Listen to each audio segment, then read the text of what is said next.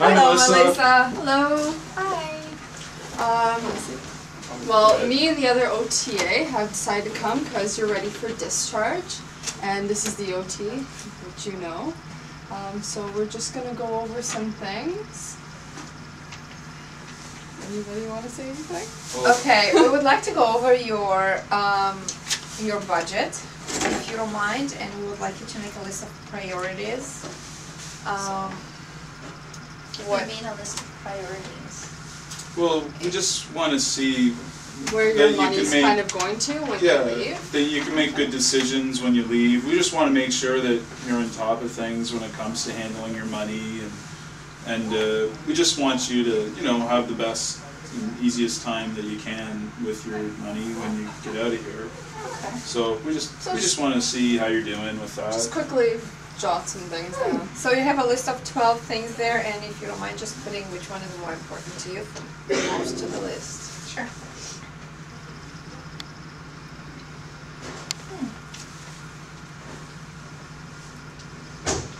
Okay, it looks like you finished your list.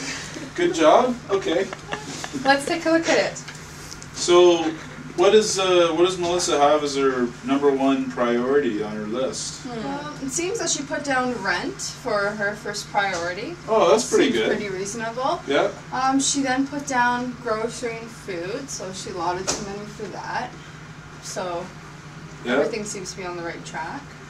Um, for number three, she put in essential clothing. Well, that's pretty Well, you good. gotta keep warm, don't you? Yeah. Yeah. Yeah. Good idea. Bank loan. Hmm. It's also very important. And And if you like traveling, number five is traveling for you. Yeah, well, my family doesn't live here, so I want to go and visit them whenever I could. And how often will that be? Well, once or twice a year, if I could. okay. Once or twice a year is pretty reasonable. Yeah, that's pretty good. And do you think you're going to be able to cut that into half? Maybe one time a year to go Well, there? if I have to, I guess I could maybe go once a year, and they come once a year. But I would really like to go twice. That may be something that you're going to have to do. Negotiate. But we'll look at Well, we your other options before that. Um, so you want to buy a Mercedes as soon as you get out of here?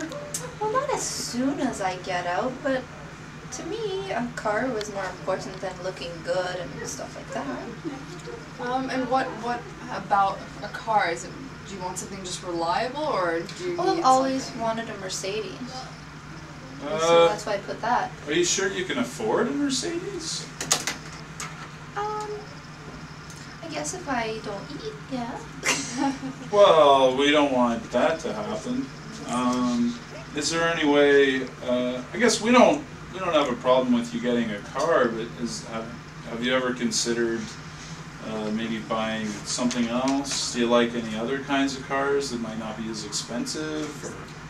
Or? Um, well, I've heard a lot about Mercedes, and they're good vehicles. They're reliable, so that's why I chose that one. Okay. Um, I well- guess as well. Guess Well, we could we could do some some work for you and look into some other choices of cars you might like too. I mean, you, you might as well you could see some other things just before you make up your mind, I guess. yeah. Just to give you some choice. We, we wouldn't want you to buy something that you change your mind on later, I guess. And if it's in your cho- if it's your choice at the end, then we Yeah, yeah, like- respect that as well. Um, so for number seven, you put expensive clothing. So is there any way maybe we can work around that? Like if you had to, yeah. just so we can somehow cut the costs. I guess I don't have to buy two pairs of jeans. I can buy one. Alright. And then I see the next one on the list is spa. I like to dye my hair a lot. And Uh, how often do you go to the spa? Once a month. Hmm. Yeah, we all like going to the spa. Are there any other places that you can go to? Maybe a little bit more of a discount. Maybe you can do it at home. What do you usually get done in the spa other than your hair? The nails, the toes, the bodily hair. So do you think you can uh, sacrifice the nails and the toes maybe?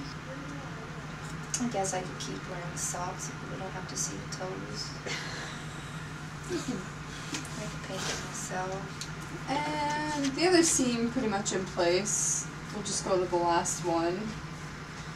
Snacks, restaurants, jewelry.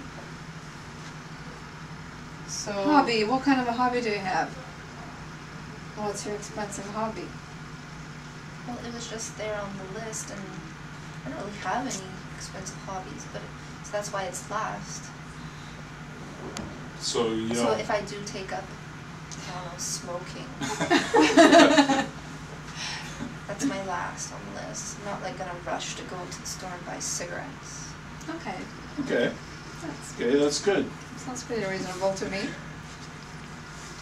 So Alright. do you Is that think you're ready to get out there and uh, manage your finances? I hope so.